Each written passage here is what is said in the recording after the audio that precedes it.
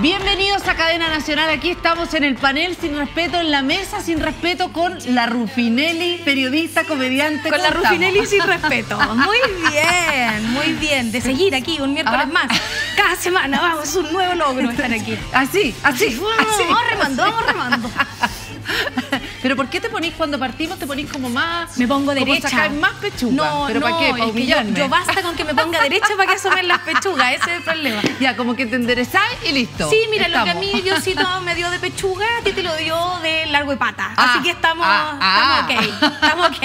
Estamos Ya. ok. Vamos a partir con lo que es mi obsesión personal en estos días. Yo creo que estamos en el 38 de marzo. Esa es mi sensación. Tengo una Qué sensación. eterno marzo. O sea, qué eterno marzo. Qué fuerte marzo. Qué siento fuerte yo, qué marzo. fuerte marzo. Pero este marzo. Este es marzo un particularmente. Pero es que, ¿qué pasó en este marzo? Realmente 38, estamos a 22, 23, ya se me olvidó. La plata se acabó el 8. No, yo estoy O sea, esperando la Pascua del Conejo brígidamente. O sea, para mí esa es mi meta. Ese es mi norte, Pascua del Conejo. O sea, rápido. ¿Qué pasó? Como que me siento que me atropelló algo, Sí. pero igual al Necesito mucho chocolate en mi vida para superar este marzo Comer. que ha sido comer, tomar, tremendo. servirse. Sí, ¿cómo se podría sí, sí, Estamos gastando más en servirnos, En servirnos. para poder, para mí Para llegar a fin de marzo, para llegar a abril. Para llegar a abril estamos Ya. acumulando. sí. Mira, yo tengo una teoría que pasó lo siguiente, que este es nuestro primer marzo des- desde hace dos años en marzo forma. normal. Es el primer marzo normal. Es el Sí. super lunes, Sí, que todo. realmente fue super lunes. Super lunes, super cambio de Ya. mando, super todo. Bueno, además de todo eso, Súper todo. de todo eso, Súper pero todo. hubo que pagar, por ejemplo, cosas que no pagábamos, como la- las patentes de los Ay, autos. Yo hacía dos años que no las pagaba y cuando fui a pagar la de este año, porque dije, ya, ok, este año sí voy a salir. O sea, sí Obvio, voy a voy a pagar, no voy a andar a la mala esta vez. Después, y cuando fui a cachar que se me habían acumulado la- los intereses, lo esto, hoy amigos, vayan y paguen a tiempo, no saben lo que es pagar después. La colación de los me quedé en pelota. La colación. Sí. La colación, la levantada temprano, el taco. Sí, el todo. Todavía no pasa con el smog, todavía no empezamos, marzo. pero la restricción. Marzo es así. Marzo, y la gente que anda derrumbó. loca y andan todos ofreciéndose combo. Ah, yo pensé que ofreciéndose, como No, ofreciéndose. yo Ah. una ofrecida toda la vida. Pero los combos, así como la gente como medio violentona. Marzo ha estado rudo. Yo encuentro que estaba Las rudo. noticias están rudas, está todo como. Ya. ¡Ay! como ya, que se termine luego. Entonces vamos a partir con noticias buenas. Imagínate que a ti te toca elegir cuál embajada querrías tú, con cuál de los regalos que te habría dado el presidente soñarías para ti. ¿Pensarías Portugal, por ejemplo? No, ¿Argentina? no. como Bárbara? No. ¿Cuál sería tu destino querri- no, querido? a mí si Borito me quiere hacer una muestra de cariño, que me mande a Bali. A Bali. a Bali. Ahí. Yo quiero ser embajadora en Bali. No me importa, seré la primera. Primera No que embajadora en Pareo. Eso quiero yo. Yo quiero ser una embajadora en Pareo con hibiscos en la cabeza. Eso quiero yo. O sea, como autóctona, Quiero como playa, flor. Como flor. Sí, quiero playa, quiero patitas eh, descalzas en la arena. Quiero un, un señor ancestral que me vea el futuro. Eso quiero. Quiero un señor ancestral y, y comer comida que pica y, y sudar Ya, de pero picazón. eh, me tinca que tú no estás en la lista de Boric, del Boris. Mira, me tiene buena. Me debería Todavía tener... estáis soñando. Me tiene buena. Ayer qué cómico, porque Me todos, todos los que se relacionan Sí. con el presidente sueñan con, un poquito con eso. Sí. Rafa Gumucio soñaba lo mismo que tú ayer. Me tiene buena. No me va a mandar de embajadora, eso sí lo sé. Pese a que yo le quiero decir al público que una de mis alternativas de carrera en algún momento fue entrar a la Academia Diplomática. Yo de verdad creo que podría ser una muy buena diplomática. Pese a todo lo que ustedes han visto en este programa, yo podría ser una muy buena diplomática. Pero, pero, a- a- espérate, pero tú realmente pensaste, Sí. dijiste voy a seguir Yo, esa- sí, de hecho o sea, investigué todo para, para entrar a la Academia Diplomática y todo eso. ¿Y Sí. qué dijiste como periodista mejor? Y no, mientras estudiaba periodismo, es que tenéis que tener una, tenéis que tener una carrera para poder ser Ah, no es cualquier, no, no es No, cualquier no. pelafustán que No, pues entonces tú. yo decía, estudio periodismo y e inmediatamente entro a la Academia Diplomática y soy diplomática de carrera, no de pituto, de carrera. Ya, Porque y él- tengo un tío que es diplomático de carrera, entonces como que siempre me gustó y él viajaba por el mundo siendo diplomático. Y él se queja todos los, todos los- cada cuatro años se queja de los nombramientos que no son de carrera. ¿Él ha tenido algún puesto? Eh, sí, pues él fue embajador. Yo estuve ¿Dónde? en su casa en Hungría, por ejemplo, en Budapest. Él era embajador en Budapest. Fue embajador también, estuvo en Francia, estuvo en Australia. En hartos lados. Ah, pero le fue bien a tu Si no, si yo pituto tengo, si lo que me falta, amiga, es, es dejar de decir chucha. Eso básicamente, por eso no me han enviado en misión Espérate, todavía. Pero hay alguien que parece que lo van a mandar en misión igual. Vamos a ver esas imágenes o no. Las tenemos acá. ¿Quién La será? llamada joyita, la joyita que nos va a mandar el presidente Boric, así lo vendió un periodista argentino. Yo encuentro que. mala, leche, onda, mala leche. Mala onda, ya, Sí, veamos. Mala leche. Les quiero mostrar, les quiero mostrar la joyita que nos va a mandar el flamante presidente Boric a la República Argentina como la embajadora de Chile. Una joyita, ¿eh? La verdad, sinceramente, la señora se llama Bárbara Figueroa, es dirigente del Partido Comunista de Chile, una, una dama, eh, fí- fíjese, mire.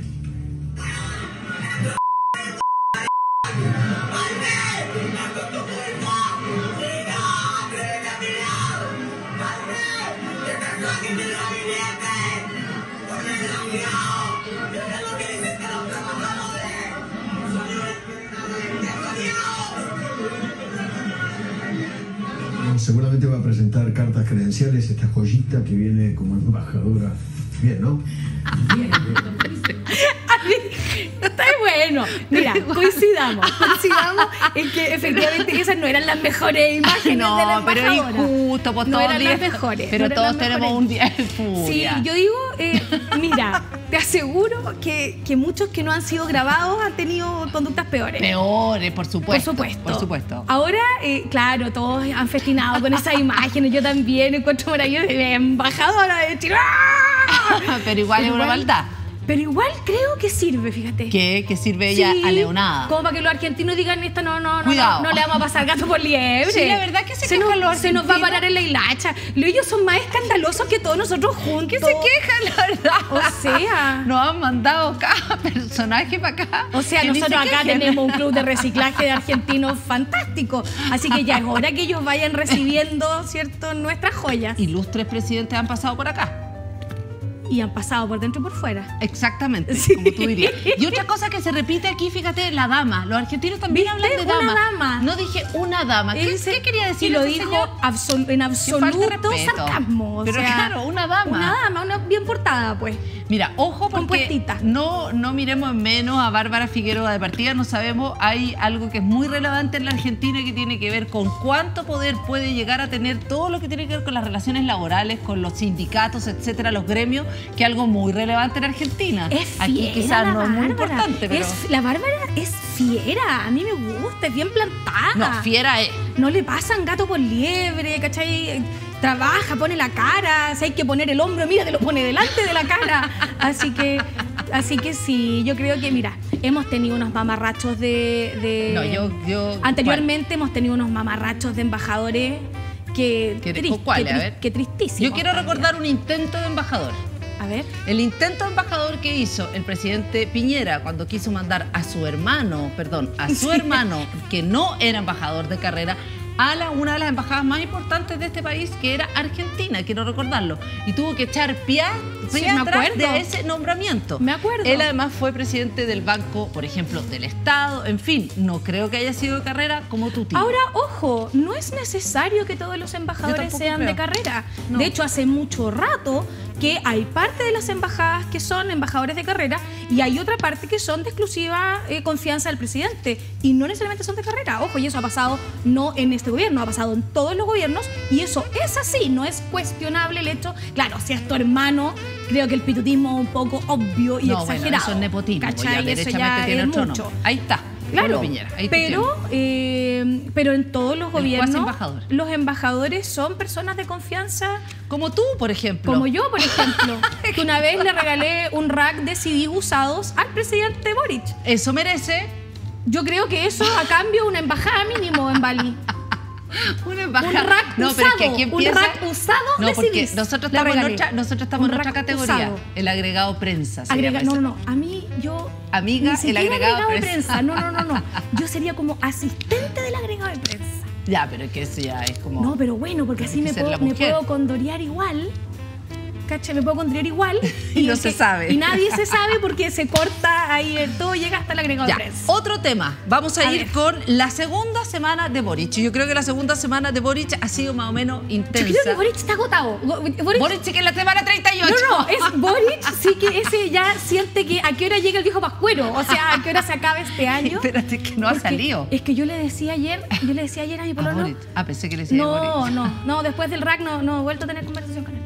Y me, yo le decía, este pobre hombre, le decía yo, este pobre hombre le tocó como todo junto, lleva nada, le tocó todo de una vez, este pobre tipo tiene que estar ya con- probablemente con los a- al chancho, tiene que estar contracturado, tiene que tener el cuello hecho un nudo. Espérate. Entonces, heavy, yo siento todo mi cariño para ti, Borito, todo mi cariño porque siento que tiene que estar agotado. Espérate, ahí está, bueno, en una de las fotos que justo ahora Recién sacamos. cambiado de casa, además con las huevas en cajas todavía. ¡Ay, qué desastre! ¿Dónde están mis calzoncillos de la suerte para esta reunión? No están, están guardados en una caja que todavía no desembala. Espérate. Ahí había una foto que la, la- la foto que vimos en la que se, se lo supuestamente está- se lo habían pillado como con un con un con un ¿Lo vieron? Vos dale, no, no, lo vi. ahí está, con su libro que estaba leyendo. Ah. Eso fue la semana pasada y la crítica es que hace leyendo mientras al parecer todo se derrumbara, por ejemplo. Otro de los temas también O es sea, agradezcan que para su tiempo libre está leyendo.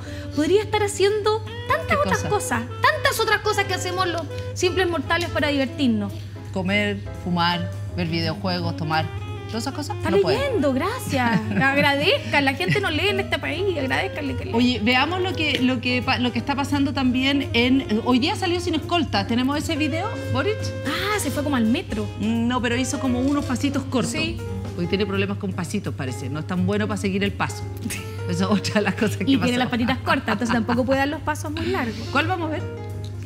Ah, ya. Antes de eso, vamos a mirar eh, la, la cuña de Giorgio Jackson en el punto prensa, que es el presidente vigila con las conferencias de prensa. Sapea. A ver, segunda vuelta. En la segunda vuelta, perdón, en la. ¿Cómo se me hizo el presidente? En el plebiscito de salida de eh, la. Qué lo desconcentró, lo desconcentró. Igual que terrible. No, pero que ¿sabéis qué? Nunca nos olvidemos que el presi tiene TOC y él quiere que todo salga bien y salga ordenado y salga como a él se le ocurrió. Y le Entonces, está saliendo... Sale a echar su mirada, pues sale ahí al cateo de la laucha, está bien. Yo creo que Se debe ser- desconcentró Jackson un poco, sí. se Yo me desconcentraría si el presi me está mirando igual no sé si desde el segundo salir. piso. No sé si podéis salir en la mitad a ver a tu. No, ¿sabéis que yo, yo creo que no tiene costumbre? Él salió nomás, no cachó que, se- que, que lo estaban viendo, No que tiene estaba costumbre de qué, de nada. De ser presidente. ¿Quién tiene costumbre de ser presidente aparte Bueno, de Piñera. Fidel Castro? Bueno, Bueno, los han, los que han estado dos periodos. o sea, perdona, Lago nació presidente.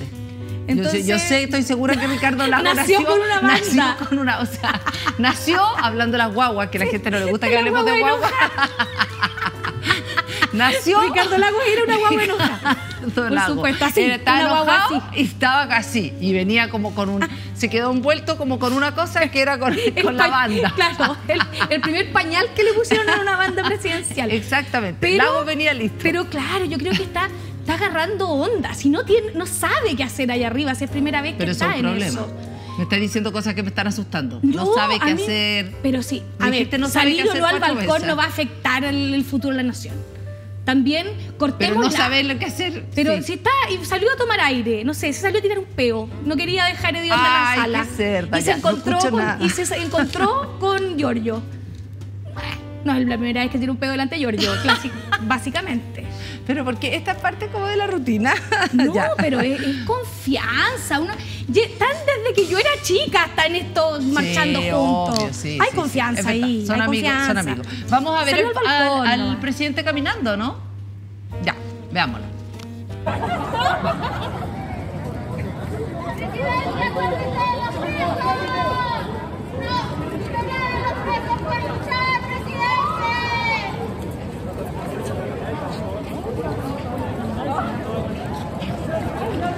Fue Fue a comprar un Chocman. Un alca, claro. Fue a comprar un alca porque no se alcanzó a lavar los dientes y comprar súper un considerado Chocman. se compró un, comprar un un Chocman. Chocman con un jugo porque se habían acabado las ¿Has colaciones. cachado lo seco que son los Chocman? Yo lo encuentro feroz. Perdonen, perdonen, perdonen, me salí de la pauta.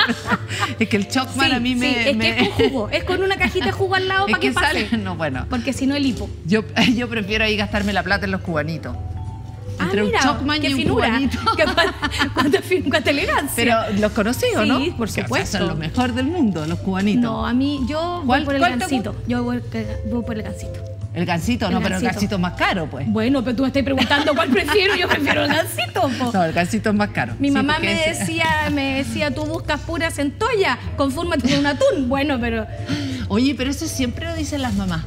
¿Por qué eliges el más caro? Siempre te gustan las cosas no, mejores. me, baja, me dice, baja tu estándar, pero ¿por qué voy a bajar mi estándar? Pero ¿cachado eso? Que Yo creo que eso tiene que ver con querer Es la que- uno bajar el moño. Es que tú eres demasiado exigente, me dice, tus estándares son muy altos. Bueno, cada la que puede, puede, y la que no aplaude desde lejos.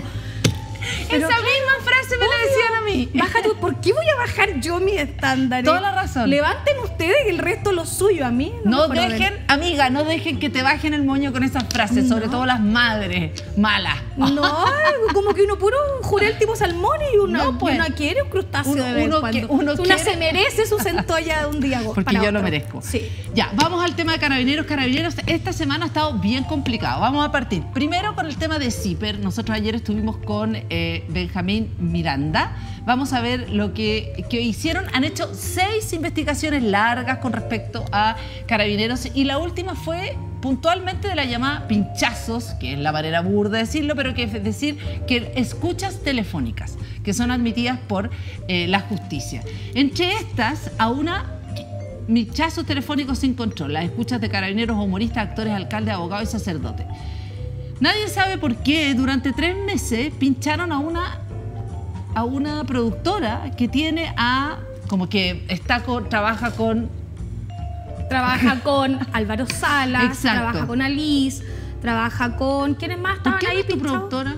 ¿Ah? ¿Por qué no es tu productora esa? Porque yo soy mi propia productora, Ah, ya. tengo mi productora. Ya, pero tú la conocías a esa productora. No, a ella Ah, no. ya, perfecto, No. ya. Lo que quería saber Aparte, a lo yo mejor creo sabía que algo el más. error ahí fue que se equivocaron de productora. ¿Por qué? Porque se metieron con los que no se meten con nadie. po. Si tenía y que pinchar comediantes, yo te doy la lista, amigo. Yo te doy la lista de los que te servirían. Que- Los que pinchaste no te sirven para ¿Pero cuál, cuál te serviría? los que pueden ser eh, los que pueden ser un riesgo para la imagen del, del presidente en ese momento. No, era esta cuestión era, mira, esto es un enredo porque lo que dicen ellos es que ellos pidieron la autorización para supuestamente Sí. era el teléfono de Yerko Puchento. Que también, ¿por qué queremos pinchar de verdad a Yerko Puchento? De verdad. Bueno, según lo que decían ellos, porque efectivamente estarían, dije estaría ya. Yerko tráfico de armas, Yerko Exacto. tráfico de Yerko ser. financiando la CAM. Yerko- financiando. ¿De verdad creen que Yerko. ¿De verdad hay alguien en Carabineros que cree Sí, que Yerko financia la CAM? Ya, pero bueno, yo que- también, yo también fui llamada a fiscalía y qué sé yo por, por eh, teléfono. Por ¿Cómo por caso, teléfono? eh, porque mi, mi teléfono figuraba ¿En en, el teléfono celular de la Chepa. No sé si te acuerdas que la ¿Quién es Chepa, la Chepa? fue procesada por terrorismo, por incendios forestales hace 10 años atrás. Eh, también en. Temucuicuy y ¿Ya? claro, y ella era autor intelectual. Y dentro de los teléfonos de la Chepa estaba el mío. Entonces me llamaron a mí para preguntarme cuál era mi relación con ella, qué sé yo. Y yo era su profesora. yo era profe. ¿Tú eres la Chepa. profesora? Sí, de terrorismo. No, yo era profesora. yo hacía clases, no, yo hacía clases a las internas en la cárcel de mujeres de Victoria. Yo era voluntaria y iba todos los sábados a hacer clases. Y la Chepa era alumna mía. Y agarramos como buena onda. La mina seca es Ya. teóloga, es parvularia, me cuidaba la guagua. Ya. y estoy súper, eh, me siento súper discriminada de que no me hayan pinchado esta vez, porque Esta creo, vez. creo que no tengo un perfil mucho más alto y mucho más crítico de todo. Y tengo poca plata para financiar a la CAM, pero, eh, eh, pero sí. Igual, y- Sí. bueno, insólito esto en todo caso. Y también esta no ha sido una buena semana para carabineros. Por ejemplo, una de, los de los chascarros, porque esto los vamos a poner Llevamos chascarros. como 38 semanas sin que sea una buena semana para carabineros, hay que decir. Ya, vamos a presentar esto. Carabineros durmiendo y fueron dados de baja. Yo, y ¿Pero cuál es el titular? Ahí está. Ahí está. Carabineros dio de baja a uniformados que fueron sorprendidos durmiendo en Panquehue. ¿Está la imagen o no de ellos durmiendo, ¿Y haciendo por qué? tutito? Ver, viste ahí veamos. donde yo no entiendo. Yo tampoco lo entiendo. Aquí no, yo no, esto no lo Yo encuentro entiendo, que cualquiera se puede ¿Quién dormir. no se ha quedado dormido en su pega alguna vez? Y no, y no soy yo la que viene a defender a carabineros aquí, pero creo que cualquier ser humano, cualquier ser A humano ver. se puede quedar dormido. ¿Pero qué pasó? O, excepto que se le haya escapado alguien, que ya no sabemos quién era, pero... Mi nombre es Gabriela Vega. ¿Qué pasó? Ahí, ahí está, la a ver. comuna. Empañado, empañado, está empañado, por supuesto. Hola, ¿cómo está? Bien, ¿y usted? Y le abre la puerta. Aquí estamos, más o menos. ¿Pero cómo? Que he llamado como cinco veces Oh. al retén y nadie, y me contestó el señor Díaz. ¿Ya? Y resulta que me dice que me van a enviar carabineros de Catemu y Ya. ustedes están aquí. Ah, Es que no tenemos vehículos policiales, la verdad. Y aquí en este no se pueden dar la vuelta. Yo me estaba dando vuelta desde las 11 de la noche en ese auto. están todos dando la vuelta. Por supuesto que estoy grabando.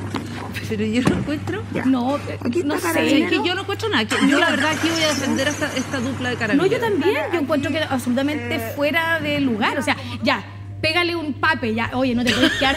Pero ¿cómo le vaya a pegar un no te, pape? no te podéis quedar dormido en la pega, hombre, pa. Ya, un pape, listo. Eso es lo que merecía, un pape, nada más. No, Las no técnicas de tu mamá. Pero no darlo de baja, o sea. O sea, No podéis, dar de- no podéis echar a alguien de su pega porque se quedó dormido en la pega. Yo tampoco A no ser que sea un cirujano y se quedó dormido en la cirugía, digamos. Pero Eso alguien podría ser grave. Está, está en el auto. O sea, alguien tuvo que ir a meterse al auto a preguntarles qué onda. O sea, ellos no estaban haciendo nada malo. O sea, estaban durmiendo. Ahora hay que saber qué es lo que se estaban perdiendo, a quiénes, si pasó algo grave. Pero igual aún así creo Igual, que no, no para no, darlos de baja. no, creo que es mucho. Y en paralelo apareció, mientras, mientras unos dormían, otros también bailan, por ejemplo. Este me encanta. Pero mira, pero mira tú. ¿Ah? Mira, mira, mira. Oye, pero ese, una vez que pasa a retiro, yo lo voy a llamar Pavedeto, tiene, tiene su cuento. Mira, mira. Cuando pasan a retiro conservan su, su uniforme y esas cosas, como para usarlo para usar otras cosas más entretenidas, digo yo. Yo lo encuentro maestro este. Esto es conservar no, el humor. Mira, él lo está pasando increíble. Esta gente es tan Ahora, yo- rara que hasta lo pueden, lo dar de baja. Lo pueden dar de baja, claro, si lo dieron baja por dormir. Imagínate por, por hacer bailes eróticos. Pero si no es erótico. Por ahí los pantalones apretados. Esa es la gracia al Paco. Al Paco siempre el pantalón le queda ajustado. Siempre es, es Espérate, pantalón Siempre apretado, te tenemos preparado algo. Ay, no. Mira, vamos. ¿Ves? Mira. Potos ¿ah? de pacos chilenos. Fotos ¿Qué de- es que esto? Ese, ese, ese es un blog. Yo no sabía que Ese es un existía. blog eterno y tiene unas fotos maravillosas. O sea, eso es pornografía.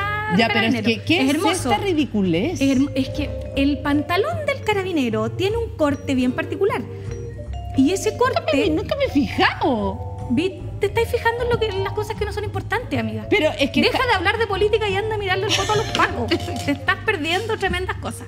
No, lo que pasa es que aquí estamos... estamos... Agradece que este, este- en este blog se muestran puros fotos como tonificados. Espérate, el feminismo nos va, nos va a castigar aquí. No, ¿ah? y hay fotos de pacas también. No, eso Unas ya preciosuras. Espérate, pero aquí nos van a castigar el feminismo, Unas nos va a castigar. ¿Por qué? Porque es mala feminista. ¿Por qué? Porque estamos, estamos Objetivizando al hombre. Claro, exacto, Pero te- viéndolo te voy- obvio. te- yo te puedo dar una razón de por qué Dámela, nosotras lo podemos dámela, hacer. dala. La diferencia es que, sí, pues, porque una mujer puede sin problema y al hombre no le molesta que la piropee.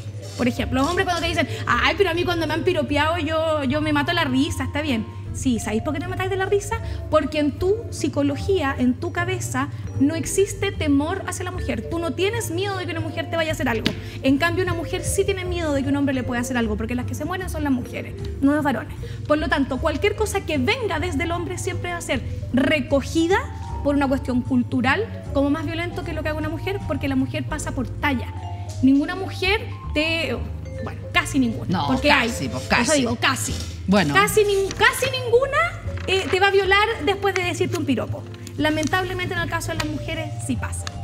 Ya, yo igual quiero entonces, le podemos dar una pasada entonces de nuevo. De nuevo al foto de Paco, ¿podemos volver a la parte de los fotos de los Pacos, por favor? Pero que yo la verdad que esto es un descubrimiento del blog. ¿Quién se le ocurre o hacer sea, piensa que esto, esto es como ¿Pero en quién cree Flickr que esto o es como en sexy? Fotolog. No, pero ¿quién cree que esto es sexy? ¿A Los Pacos, po. Yo no, no entiendo la lógica realmente. Son, yo pero piensa que ellos son bien monogámicos, como que se casan entre ellos, como que mi papá fue Paco, yo fui Paco, eh, la señora, mi señora Carabinero, es mamá ah, de, carabinero. de carabinero. Ellos como que tienen, igual que los militares, como que tienen mucho vínculo entre ellos. Yo no entiendo en qué minuto puede ser eso un objeto sexual. Eso es lo que me da risa a mí. Perdón, bueno, hay con gente, respeto. hay lo digo gente que le gusta los que tiene fetiche con los uniformados, por ejemplo. Lo digo general. sin respeto. Le ponéis cualquier uniforme del doggies y ya les gusta. ¿cachai? Cada uno con su fe. Yo quiero insistir en que cada uno con su fetiche. No, sí. Y ahí había uno, hay unos traseros bastante interesantes. Hay, hay trabajo, hay trabajo ahí, hay Oye, no- inversión. nos quedó pendiente, pero lo que sí lo vamos a tratar la otra semana porque lo único que nos importa, ¿qué es lo único que nos importa a todos? Vacaciones. El quinto retiro. Ah, también. El quinto retiro. Sí, es realmente lo es único que estamos todos de acuerdo. Para poder tener vacaciones necesitamos el quinto retiro. Para poder llegar a fin de mes, Sí. necesitamos Para que se acabe marzo necesitamos el quinto retiro. quinto retiro. ya, y nos vamos, pero antes la Rufinelli nos va a mostrar cuál es el show que viene esta semana. Ay, esta semana, acompáñenme. Oye, el de la semana pasada fue gente que me dijo, te vi en cadena nacional y te vine a ver, así que funciona. Así que vayan a verme, voy a estar este viernes presentando lo que a mi gusto muy personal es lo mejor de la comedia emergente, se llama La Incubadora. Yo hago mis grandes éxitos y presento a tres comediantes emergentes para que ustedes se deleiten con lo nuevo de la comedia chilena. A Así tres que, pollos.